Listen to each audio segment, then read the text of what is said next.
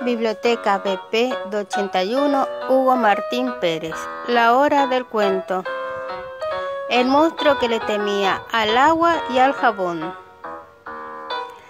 Este es un monstruo que estaba encerrado en una botella por mucho tiempo. Se movía tanto, tanto que un día logró salir de allí. Y caminó por un largo bosque y llegó a un pueblo. Aquí me voy a quedar. Buscaré una casa y entraré. Encontró una casa abierta y entró en ella, encontrándose con Eugenio, un pequeño niño que jugaba con muchos juguetes. ¿Quién eres? dijo Eugenio.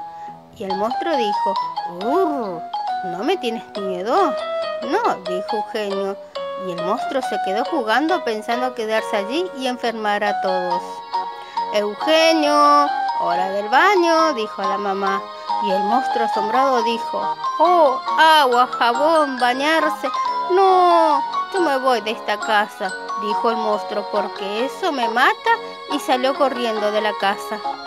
El monstruo caminó, caminó por todo el lugar y en cada casa encontraba un letrero que decía, aquí no hay lugar para quienes no usen agua y jabón. Entonces el monstruo se alejó de aquel lugar.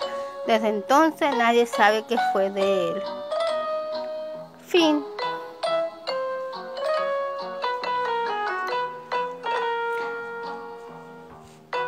Hasta la próxima.